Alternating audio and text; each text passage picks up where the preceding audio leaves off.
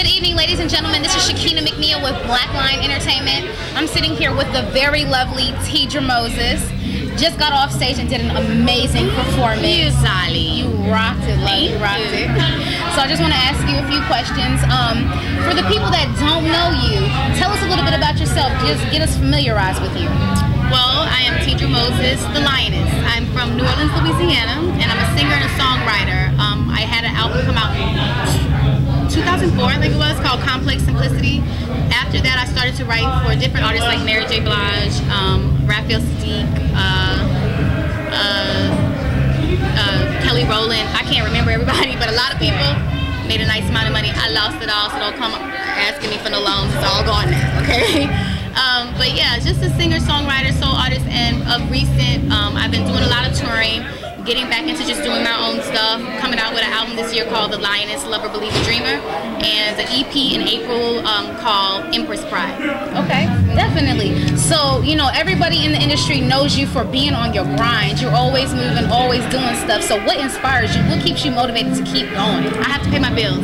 I felt no, I'm just playing. that, that's one of the reasons. But no, really, honestly, um, that's money is not my ultimate motivation. Um, I was put on this plan to do something, you know, and I have a voice that my mother gave to me, and I'm going to use that to continue to, you know, make people feel good and to feel good, make write songs. Not only do I have a voice, I have a pen. Exactly. So I just, you know, do what God put me on this plan to do, and I enjoy doing it. That's really my motivation. It's not about fame.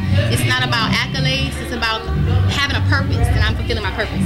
Definitely, definitely. Well, you're definitely doing a good job at it, mommy. Thank you. Keep going. Thank you.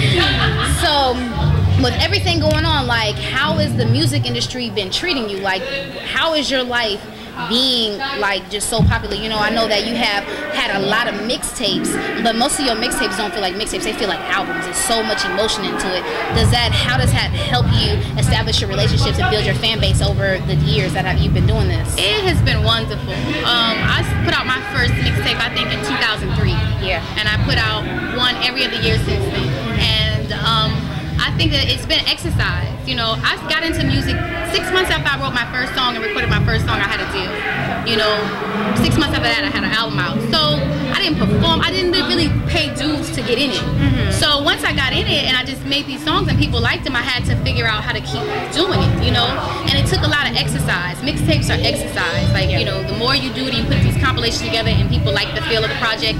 It makes you feel confident to keep going and do more. Um, my my relationship with my audience is very important to me. With my fan base, with the people that um, listen to my music is very, very important to me. I'm very appreciative of them. So giving away free mixtapes was just my way to say thank you for believing in me, thank you for riding with me continuously. You know, it's just my way of being grateful to my my audience. So have your fans been supportive of like everything you've been doing? I know you're working on a documentary right now. How have your fans been looking at you and like supporting you through all of that that you've been doing with your documentary?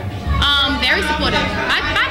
The most supportive fans. Like my fans sent me to um, Essence Festival last year. You know, oh, nice. they contributed money to help me do my documentary. You know, they've been very supportive. I had extremely supportive fans, and hopefully I can continue to give them, you know, content that they appreciate and make them feel like they're not the only one. You know, make them feel like there's somebody else out there they can relate to.